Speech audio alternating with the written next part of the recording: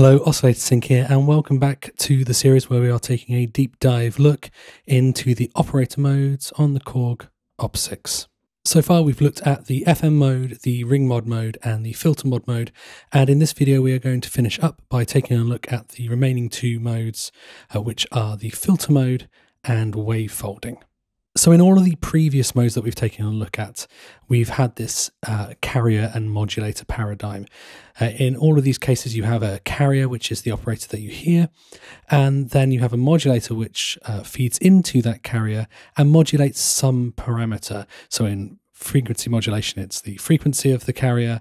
In uh, the ring mod, it's the amplitude, and in the filter mod, it's the filter cutoff of a built-in filter. These final two modes are different fundamentally because instead of the operator that sits above our carrier, we'll call it a carrier for the moment, or that's, that naming probably isn't quite right.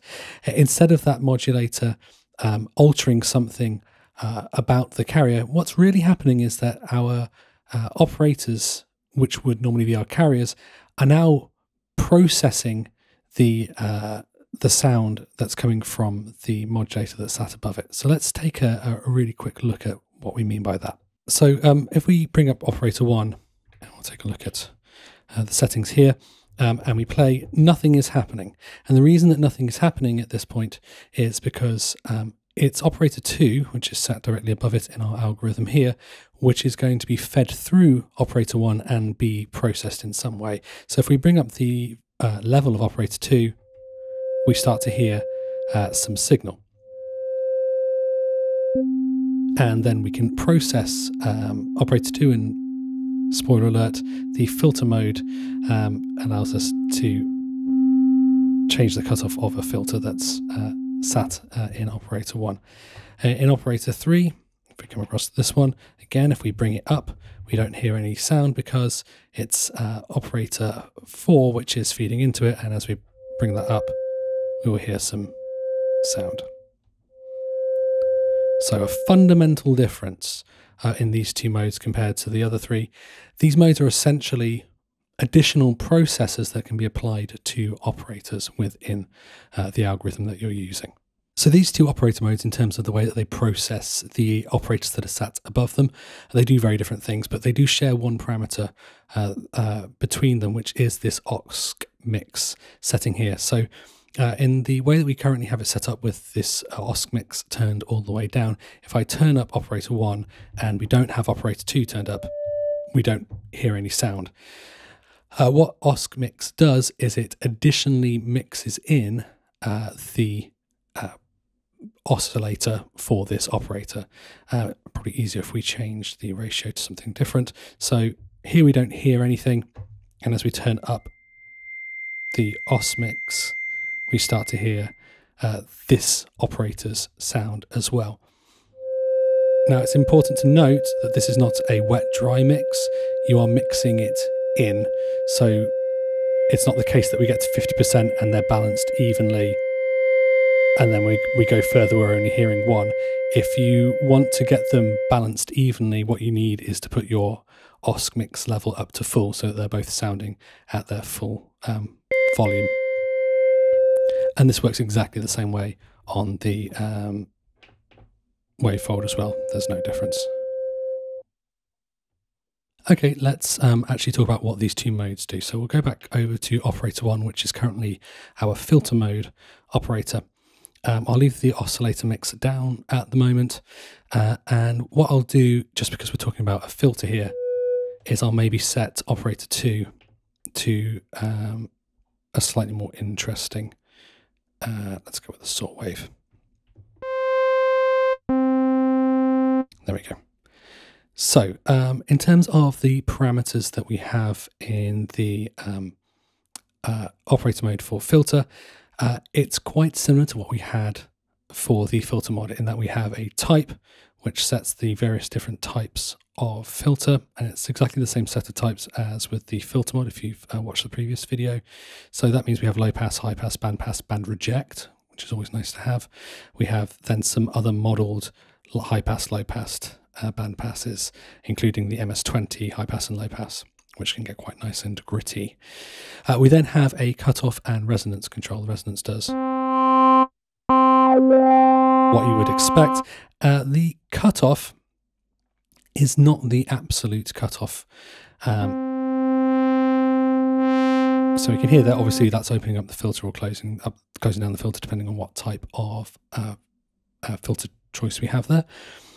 But what's important to note is that the cutoff of a filter mode um, operator is uh, intrinsically linked to the pitch that that operator would be playing. So if we set the uh, resonance nice and high and just temporarily we'll set the waveform for operator 2 as uh, white noise so that it doesn't have a pitch.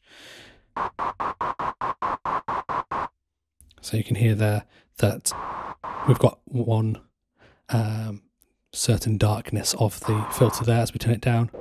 It gets darker and brighter up at the top because as I play across the keyboard, as long as this operator is set in uh, ratio mode, which it currently is, the uh, frequency of this operator is going to be changing and therefore so is the filter cutoff. Um, what that means is that if we set the resonance up nice and high so that we can do that nice um, sort of self oscillating filter and we can start to put pitch onto unpitched sounds for example which is just a, a nice thing to do um, in my previous um, video where we looked at the filter mod, uh, I went through all of the different types of filters.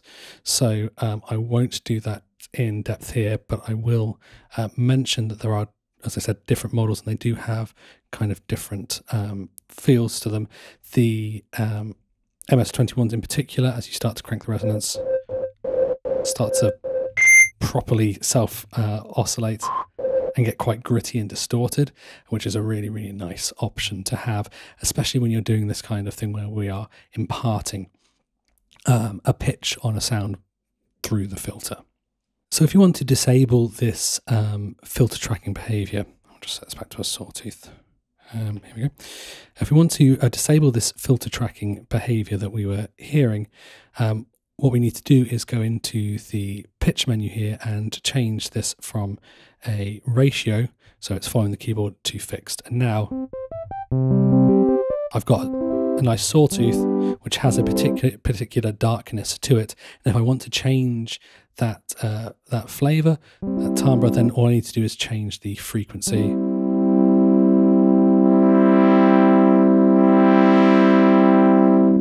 For this operator. So the important thing to remember with the um, filter mode is that for the purposes of the cutoff of the filter, cutoff equals pitch, basically. Um, so that means if we want to um, create independent filter envelopes, which are independent to the master filter, which of course goes across all of the operators, the way that we will do that is by applying um, a pitch envelope or pitch LFO if we want to create some wubs. So here we are in the pitch menu and we've got our pitch set to fixed. And if we want to create an independent filter movement um, on just this operator, for example, via an LFO, if we up the depth here,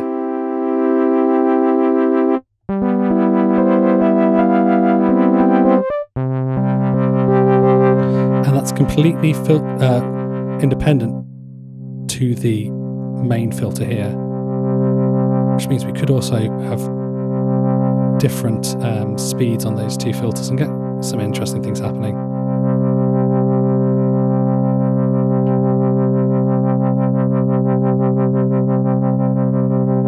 So we've got a slow filter movement and a uh, faster one. Like that, for example, which is pretty cool. And of course, if we had multiple filter uh, operators set up, we could start to set up different modulations across all of them. And you can get very, very interesting evolving sounds. Uh, similarly, if we come back to the pitch menu for operator 1 here, if I set the envelope generators, this is going to be envelope gen generator 1.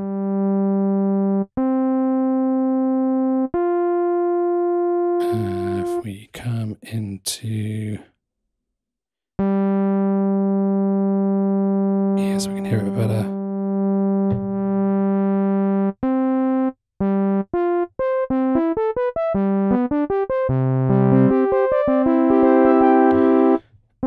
Again, this can be separate.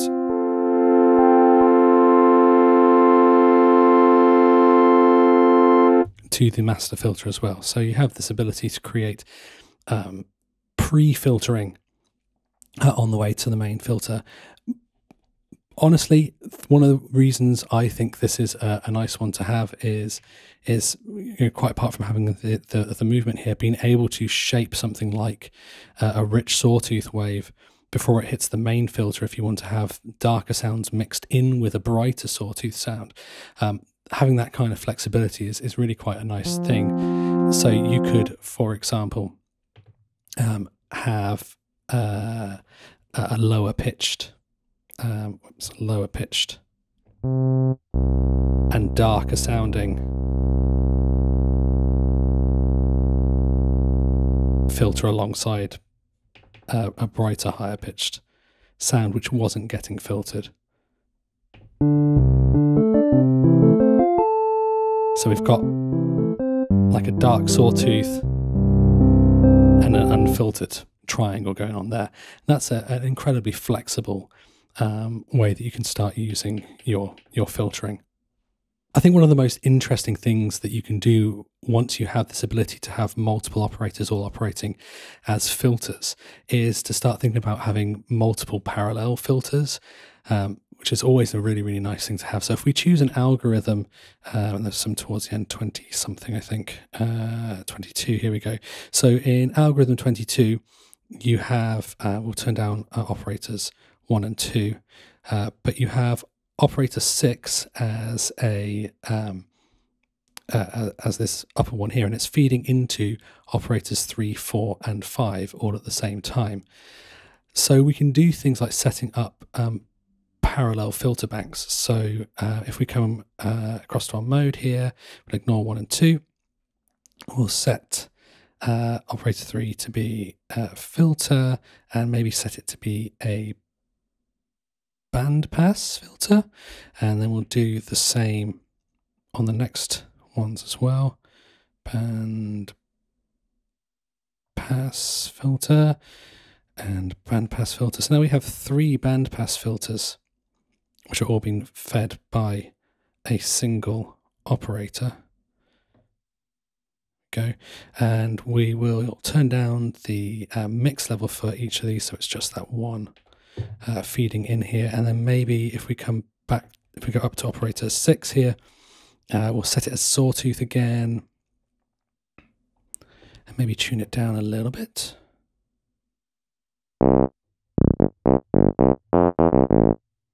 Like that. And now if we come into each of our um, filter operators that are all being fed by this single operator here, and maybe give it a little bit of resonance and uh, let's, uh, in fact, let's set the pitch to be fixed. And we'll do that on all of them. Uh, pitch to be fixed, pitch to be fixed, and then give it a bit more resonance, give it a bit more resonance. And then if we change the cutoffs of each of them, which we just do here, we can have these sort of parallel filter bank, which gets you all these cool vocal sounds, for example.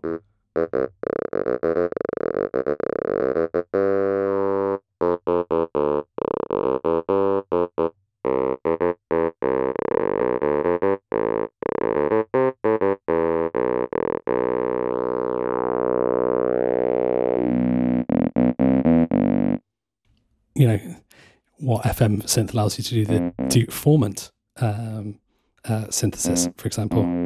This does tend to work with a with a lower pitched sawtooth wave. That tends to be a good place to start for this kind of sound. And then we can start modulating these stuff, uh, the, these um, different uh, filters. So we could go into the V patch and maybe set each of the different cutoff, uh, or rather the pitches it should be. So uh, operator three pitch,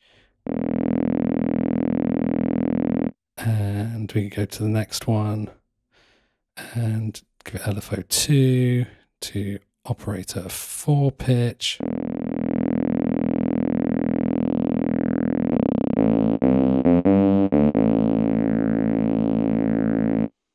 we can get some really cool sounds that uh, you would certainly not expect to to get from a uh, an FM synth. If you can stop your mouth from making shapes while you listen to a patch like this, you are a stronger willed synthesist than than I.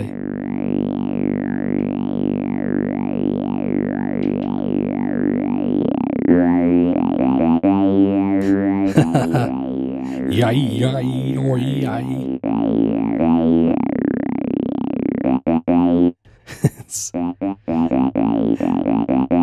It's just a lot of fun. uh, and and another thing, if we wanted to make this a bit more vocal, uh, we could perhaps on a couple of these uh, just mix in a bit of noise. Doing all of them. Just a taste.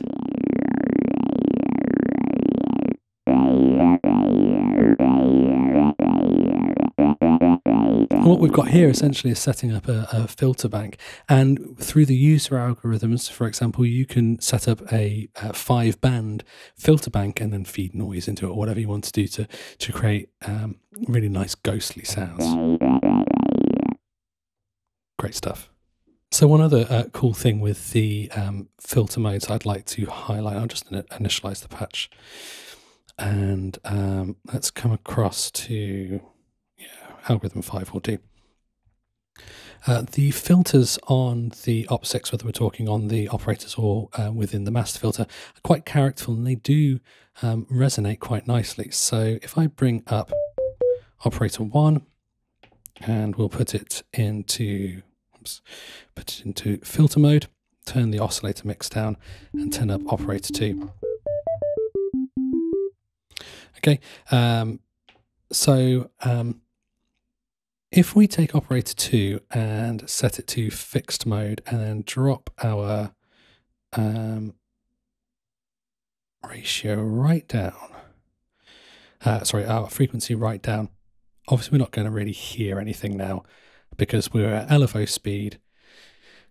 If then, if you were looking at this on a scope, you'd probably see some DC get moved around or whatever, but we're basically not hearing anything. If we set the wave to something which has hard edges, however, we might just about hear some clicks. So let's just try, um, let's try square. Yeah, there we go. We can hear some clicks. Probably too fast. So let's just drop this down a bit more. Okay.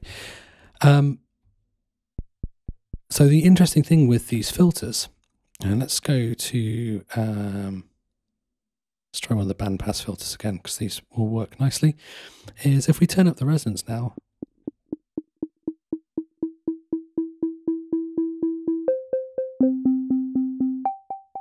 you can ping the filters and it will resonate quite nicely. And different modes will do different kind of different sort of flavors of resonance.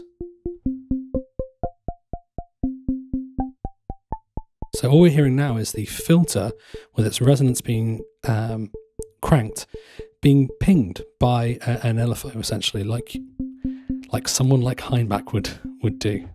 Perhaps he would enjoy this uh, particular way of working with the synth. And of course, because by default with the filter, if they're not um, on fixed, everything is going to be tracking the keyboard. So we get these lovely sort of faux arpeggios all being driven by these LFOs. And if we um, set the um, LFO, like if you like, shape to uh, one of the ran, uh, so uh, I mean, some, hold, no, I mean, uh, actually, yeah, that'll work. Noise sample and hold. If we have it on sample and hold, because it's a random voltage each time,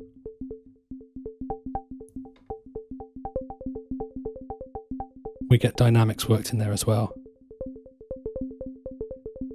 which I think is rather cool.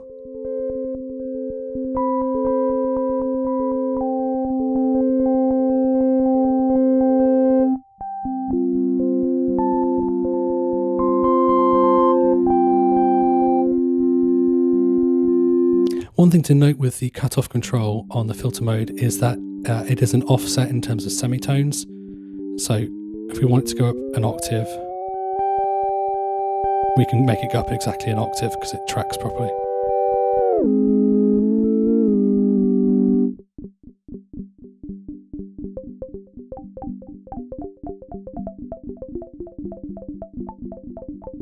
And you could do things like um, duplicate this uh, same idea on the next one along. Uh, maybe use a different filter mode, turn that oscillator mix down. Turn that one down for a second. Uh, again, so in operator 4, we would set it to sample and hold. Uh, in its pitch, we would go fixed and turn it very low. And I can't remember what the other one was set to. Let's try that.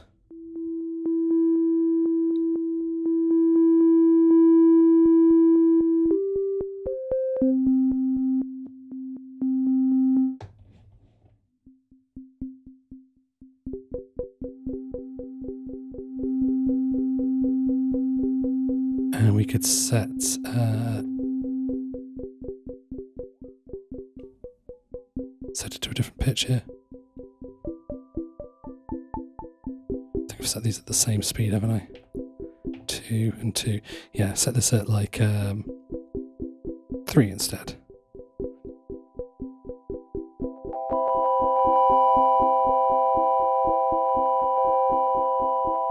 And we can get polyrhythms and stuff happening in here.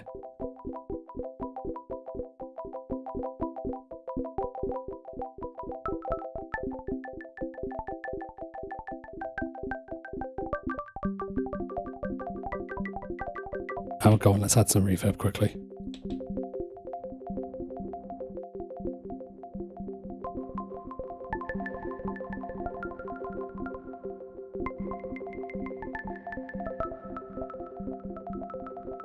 So we can create all these interesting, rhythmical, organic, pingy. We could even take our master filter crank its resonance. Uh,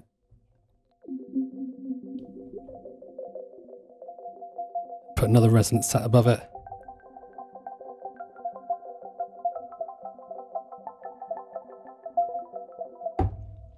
Lovely stuff. Um, lots of creative ways to use um, the filter mode beyond just shaping some some waves by cutting out some frequencies.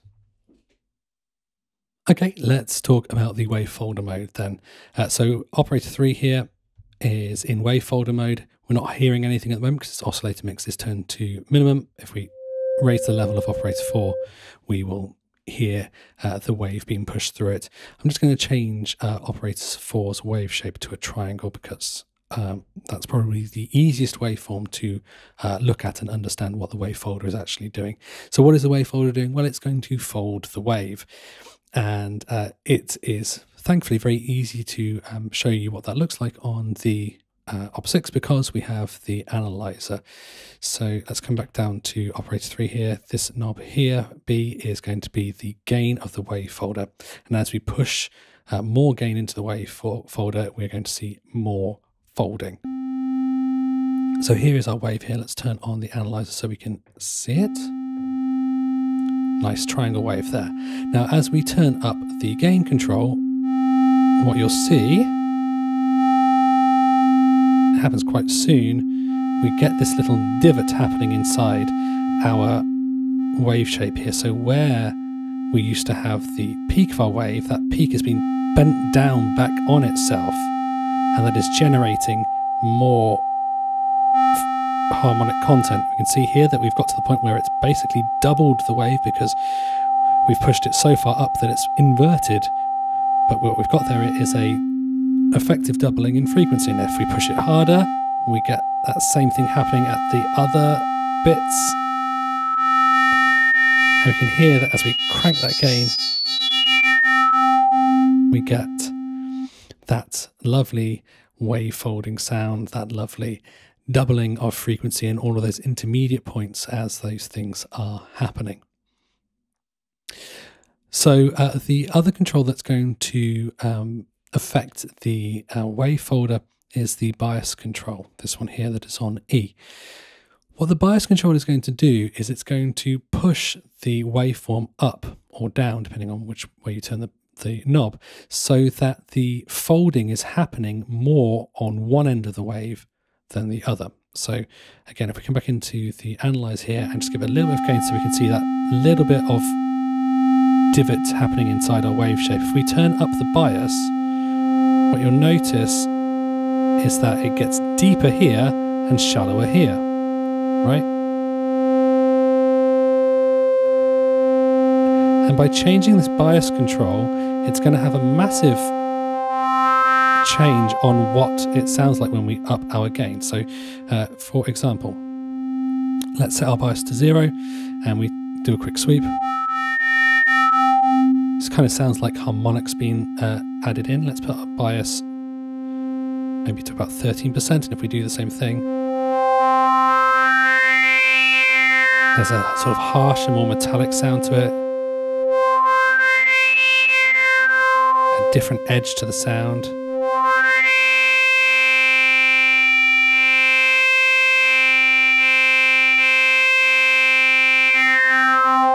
Between those two controls, we can get different flavors of wave folding. It's also worth noting that our gain control is affected by the level of the input as well. So if we set our gain control up a little bit but turn our level down, we get less folding because we're essentially reducing the overall gain. And turning up the level here is what's going to get our folding happening. So um, if we think about that in terms of getting timbral change over time, if we want to get that sort of classic um, wave folder sound, what we want to do is think about the um, level envelope of the operator operator 4 which is feeding into our wave folder here. So um, let's lower that sustain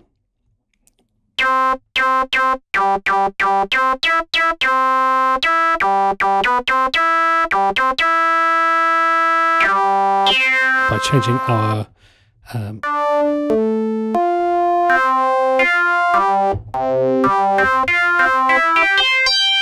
changing our envelope here, we're going to get different um, change over time.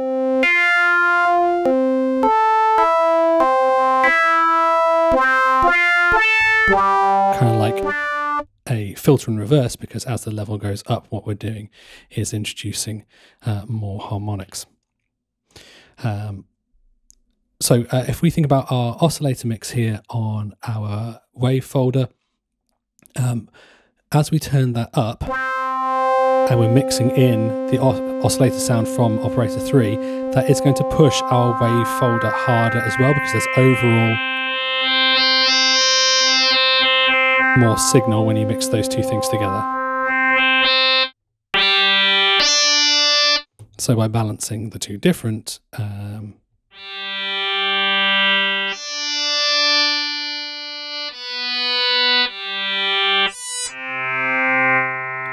oscillators involved here, the bias, the gain, we can get a range of different sounds great for harsh, um, weird, tweaky sounds.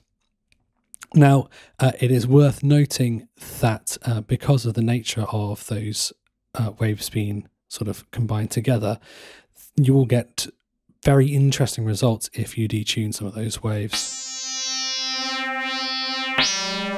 Much different than just that sort of chorusing that you would expect. There's a frequency interaction that's happening here because of the phase of the two waves, whether they're, they're high or low at any particular point, it's going to alter how they're being folded. So it's not just a case of getting that sort of chorusing that you expect. You get this kind of beating that's happening here, but that beating isn't just a, uh, a pitch beating, it's, it's affecting the harmonic content of the sound as well.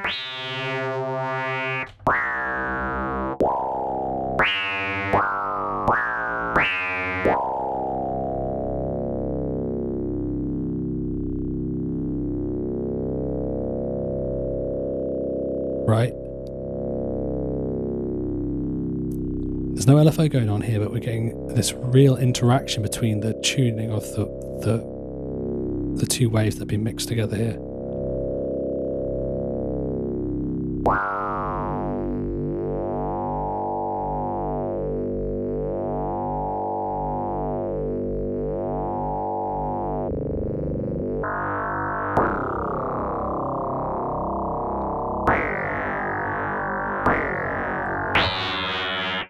Really interesting, harsh sounds. It sounds almost like you would expect stuff coming from FM, but it's a different kind of flavor.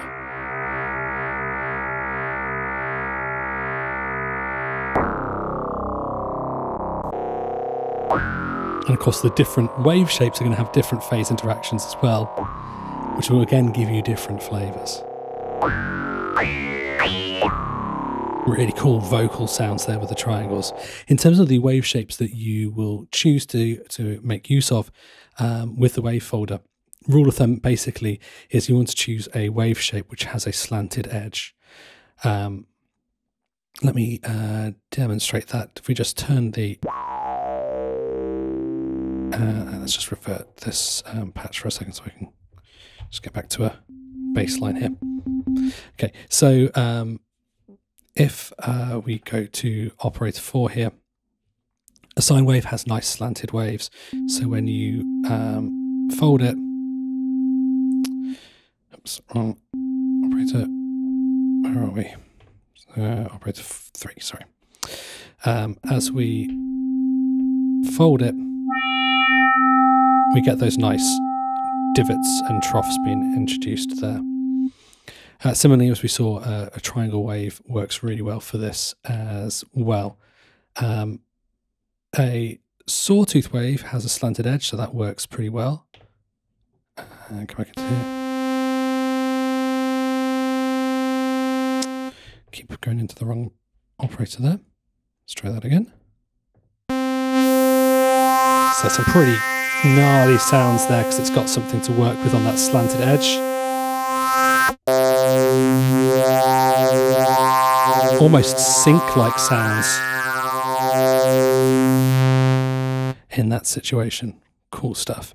Um, uh, on the other hand, something like a square wave doesn't give you such interesting results, generally speaking, um, because there's less um, slanted edge to work with. This square wave, as it happens, has a bit of a slant at the top, so this should still give us something. But it's mostly just repeating the same trick over and over again right? So there's some sort of interference points there, but it's not really anything dreadfully interesting there because it hasn't got a nice slanted edge to work with. Triangles, um, uh, sine, sawtooth has that one slanted edge to work with as well. Um, any wave shape that has those slanted edges will give you good results. Square waves, not so much. So it's worth noting on the wave folder and on the filter um, but we'll talk about the wave folder here, is, is that it is a um, operator mode that works quite happily on its own. It doesn't need anything to feed it really. Um, so if we just turn up operator 3, and as long as we have our oscillator mix turned up, we can wave fold it without having anything feeding into it. Um, one thing that I've come back to again and again, though, is pointing out how interesting it can be to apply LFO rate um, um, modulation, if you like, or the, the operator sat above the, the carrier here being LFO rate instead. So what's really interesting uh, in the wavefold mode, uh, so if we just set uh, the pitch of this one, again, we'll go fixed and go down to like four hertz or something like that. Um, as we um, turn up operator 4 and therefore uh, start mixing it into the wave folder we can hear actually, and if we turn up the gain slightly, we can hear this movement happening. Uh, let's slow that down even more so we can hear it a bit easier.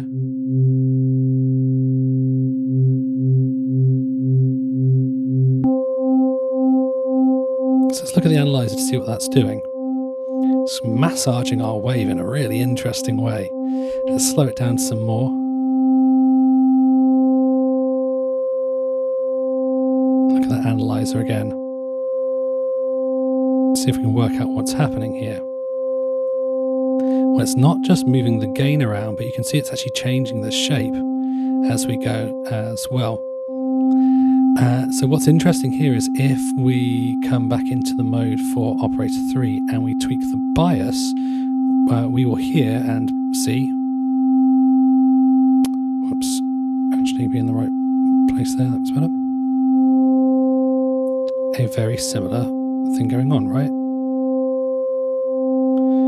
So by feeding an LFO rate um, operator into the wave folder, what you're going to be doing is very slowly adding a bunch of stuff as the wave goes high and then subtracting a load of stuff as the wave goes low. So what you're doing essentially is um, applying a bias. That's all the bias is doing. It's pushing the wave up and it's pulling the wave down. So by using an LFO rate um, operator feeding into the wave folder, what you are essentially doing is independently modulating the bias control uh, of the operator you're feeding into. And of course, we can do all sorts of interesting things with um, different. Um,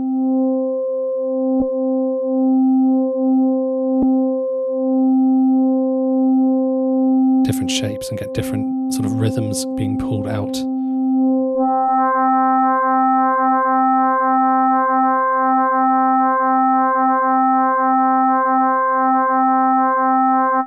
within our sound.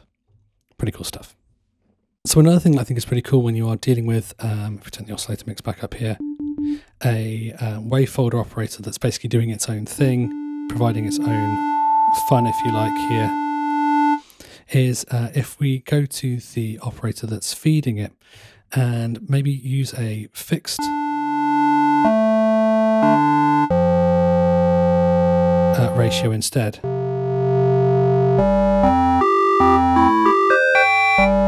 Because you don't so much hear the fact that there is a fixed um, uh, frequency in here.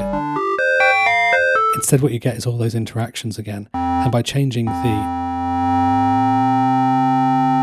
the frequency here, we get sort of almost like ring mod type stuff happening in with it.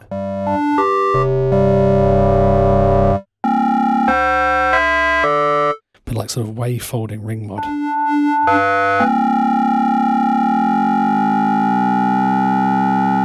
And much like with the ring mod and the filter mod and everything else, you can kind of tune this effect so that it works in the key that we're playing in. We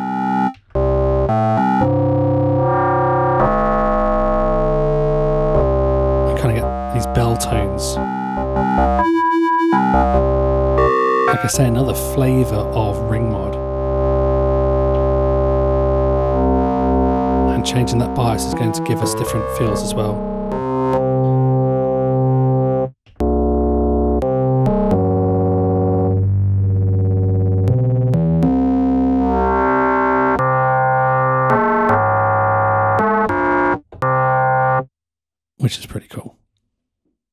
So, anyway, um, I hope that was interesting and useful. If it was, then as always, it would be much appreciated if you could hit that thumbs up button. Make sure you subscribe to the channel uh, because if you are here looking at opsix stuff, uh, there is some more opsix stuff to come, let me tell you. Um, so, we've looked at all of the um, operator modes here. Plan for the next video is to go in and talk about the user algorithms because I think this is a really, really exciting aspect of this synth, um, especially as it allows you to think a little bit about creating entire synth architectures inside the opsix, which we'll get to. Um, but I think it is a massively powerful element uh, to the synth from a sound design perspective. So I'm really, really excited to start uh, exploring that on the channel. Now that I've discussed all of the different operator modes uh, on the opsix, uh, I also feel a little bit more inclined to um, do some more patch building videos because uh, I didn't really want to skim over what the different operator modes were doing as I was building the patches. I've got some ideas, but if there are some particular types or flavors of patches that you'd like to see um, featured on the channel, then by all means, please let me know down in the comments what you would like to see. I am more than happy to take suggestions. Other than that, thank you so much uh, for joining me. As always, Take care. Until next time. Bye bye.